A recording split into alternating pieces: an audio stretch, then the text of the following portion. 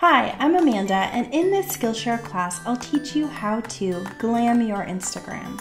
Instagram is a great visual platform that allows you to connect with your ideal audience and it allows you to create a community of followers that are tuned in when your business and brand need it the most.